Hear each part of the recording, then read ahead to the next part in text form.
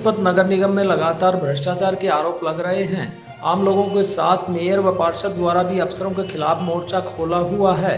क्योंकि निगम चुनाव से पहले साढ़े पाँच साल तक निगम के अधिकारियों की किसी के आगे जवाबदेही नहीं थी, लेकिन अब निगम में मेयर व पार्षद पूरी नज़र जमाए हुए हैं व लगातार अन्य समस्याओं सहित भ्रष्टाचार के मुद्दे को उठा रहे हैं।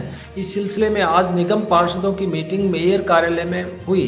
मीटिंग के उपरांत जगत महान न्यूज़ ने मेयर निखिल मदान से बजट निगम अधिकारियों पर लगातार लग रहे भ्रष्टाचार के आरोपों पीने के पानी की समस्या, गंदे पानी की निकासी के बारे बात की। इस दौरान एससी नगर निगम सोनीपत ने भी जगत महान न्यूज़ से बात करते हुए समस्याओं का जल्द समाधान होने की बात कही। बजट बिल्कुल पिछली बार से बेटर बजट निकाला है इस बारी। और खासकर जो बजट निकला है, छियासी करोड़ के आसपास तो उसके अंदर डेवलपमेंट वर्क के कामों के लिए निकाला है। और मैं समझता हूँ कि जो बजट निकाला गया है शहर के लिए, सब चीज़ों को देखते हुए कि भाई हमारे निगम का रेवेन्यू भी अच्छा होए और इनकम भी बढ़े निगम की। साथ साथ डेवलपमेंट वर्क भी काम के साथ साथ जो शहर में होने हैं वो होते रहे। निगम आपसे काफ़ी उम्मीदें जनता को थी लेकिन आज भी पानी की समस्याएँ जो है जो कि तो मुँह भाई खड़ी हैं सीवर की समस्याएँ जैसे एजिटीज़ है भ्रष्टाचार जैसी समस्याएँ हैं उनके ऊपर आप क्या कहना चाहेंगे? देखो पिछले आप भी समझते हैं पिछले छः सालों से चुनाव नहीं हुए थे। चुनाव नहीं हुए थे और उससे पहले जो हालात थे सिचुएशन पीछे से सेम चलती हुई आ रही थी।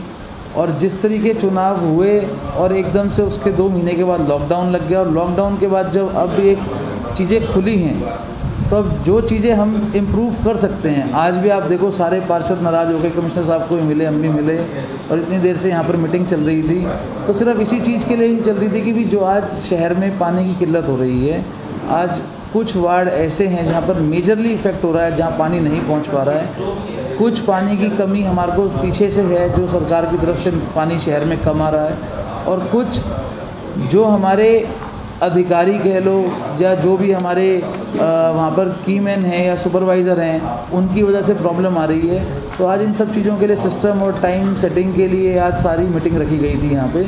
तो जल्दी इन सब चीज़ों से हम शहर को छुटकारा भी दिलवाएँगे और ज़रूर ये लोगों को बहुत मेरे से उम्मीदें थी और हमारे सब पार्षदों से भी बहुत उम्मीदें हैं। जितने भी हमारे बीस मेंबर इलेक्ट होकर आए हैं, मैं समझता हूँ कि अभी ये शुरुआत है हमारे लिए, सबके लिए। जल्द हम इसके ऊपर 100 परसेंट अच्छे तरीके से काम कर कर अगले प्लान तक और अब बारिशों की तैयारी भी हम साथ साथ में कर रहे हैं। इन सब चीज़ों का पूरा ध्यान रखते हुए कर रहे हैं। चीज़ें संभलेंगी थोड़ा समय लगेगा बट हम उसका पूरा 100 परसेंट सोल्यूशन के साथ उसके हम जीत के उसमें निकलेंगे। सरकार और प्रशासन का जो आप प्रशासनिक अधिकारी हैं उनका सहयोग आपको क्या प्रॉपर मिल रहा है? हंड्रेड परसेंट पूरा सहयोग मिलता है निगम के यहाँ से जो ऊपर के कर्मचारी हैं जितने भी अधिकारी हैं बट जो निचले हैं उनकी तरफ़ से कुछ ग्राउंड पे कमी रहती हैं। पिछले छः साल से कोई पूछताछ करने वाला था नहीं। आज उनको उस तरीके से काम करने की आप कह लो या चीज़ों को अवॉइड करने की जो उनकी आदत थी वो धीरे धीरे धीरे अब उनकी ट्रैक पे वापस आने लगी है और मैं समझता हूँ कि अब जिस तरीके आज हमने कंप्लेंट्स भी करी हैं बाय नेम हमने कुछ अधिकारियों की आज कंप्लेंट करी है उसके हिसाब से अब जल्दी फ़र्क भी दिखेगा इनके अंदर नहीं होगा तो फिर इनके ऊपर लीगल कार्रवाई भी करी जाएगी। तो सोनीपत की जनता आपसे कैसे आश्वस्त हो कब तक इन समस्याओं का जो पानी और सीवर की समस्याएँ हैं उनसे निजात मिलेगी? मैं विश्वास दिलाता हूँ जो ड्रेन नंबर छः का काम चल रहा है हमारा सीवरेज का बहुत जल्दी ये हमारा पिछले दो महीने जो लॉकडाउन में ख़राब हुए, उसमें ये चालू होने की हमारी पूरी इसकी प्लानिंग थी कि इसको हम स्टार्ट कर देंगे। उसको स्टार्ट करने के बाद हमारे शहर का जितना भी कबीरपुर का, जनता कॉलोनी का या Tara Nagar, Jeevan Nagar, old C road area area है, साथ में फिर हमारा जो ये बस स्टैंड के पास का एरिया है या हाउसिंग बोर्ड का एरिया है, इससे बहुत बड़ी इसको रिलीफ मिलना था। पर ये दो महीने लॉकडाउन की वजह से लेबर ना होने की वजह से वहाँ काम नहीं हो पाया।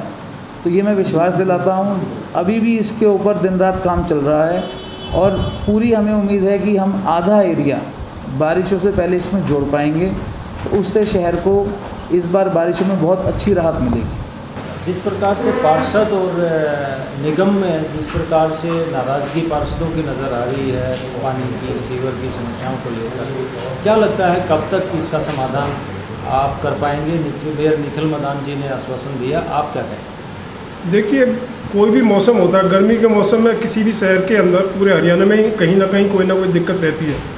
और यहाँ पर तो पीछे काफ़ी टाइम से अमृत के ड्रेन के सीवर लाइनों के काम जो है, युद्ध स्तर पर जारी हैं। कई काम पेंडिंग भी थे जिनकी वजह से डिले हुआ है, जिसकी वजह से प्रॉपर ड्रेनेज मतलब नहीं हो पाया। या मतलब जैसे जाजल की हमारी जो परियोजना जो है, पानी की देने की रेन्यूवेल्स की, उसमें भी वहाँ थोड़ी कमी मिली। कुछ कारण जो ना, बीच में पावर फेलियर के होते हैं। पावर फेलियर की वजह से जो है ना वाटर सप्लाई इफेक्टेड हो जाती है। तो इस कई कारण छोटे छोटे मिले हैं जो दो चार दिन पीछे जो है डिस्टर्बेंस ज़्यादा रहा है। तो मेरी उम्मीद है कि उन सबको हम जो है एक दो दिन में नॉर्मल कर पाएँगे और पहली जैसी पोजीशन ही हम हासिल कर लेंगे दोबारा से मुरथल रोड पर सीवर का काम काफ़ी समय से चल रहा है जनता परेशान है डेयरियों के पशु भी वहाँ पे बांधे गए हैं। तो आप उसके बारे में क्या कहेंगे? तक रोड का सीवर का कार्य पूरा कर लिया गया है और लाइन को भी लिंक कर दिया गया है। अब उसमें सिर्फ़ खाली रोड का काम रह गया, रोड जो कि पीडब्ल्यूडी ने बनाने हैं, और उसके लिए भी नगर निगम ने अपने पैसे उनको जारी कर दिए हैं, और उनका काम शुरू हो गया है। तो सुचारू रूप से वो जो है चलने लगेगा।